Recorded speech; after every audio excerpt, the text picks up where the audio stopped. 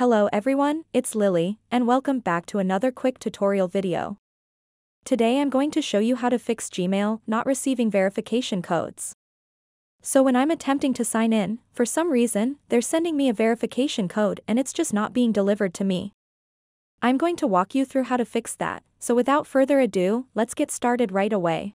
First, what you want to do is open a browser like Google Chrome and type in, is Gmail down, in the search bar at the top.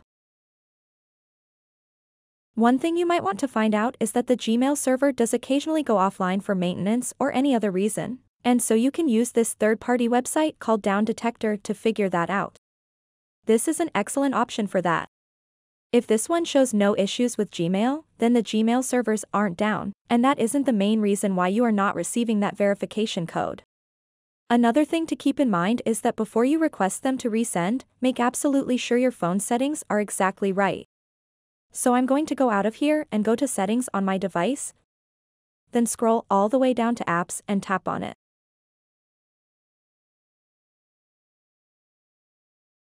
Once you're on this screen, tap on the search bar up top and search for messages. Then click on permissions. So you'll want to double check that you've allowed all of this, especially the SMS. You must allow permission for this.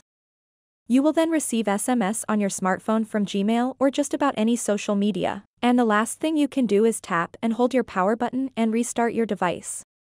After you try these things, return to Gmail and you should be able to receive your verification code. I hope you found this information useful. If you did, please give this video a big thumbs up and subscribe to this channel for more useful content like this one. Also, if you guys have any questions about this whole process, please let us know in the comments section below. As always, thanks for watching.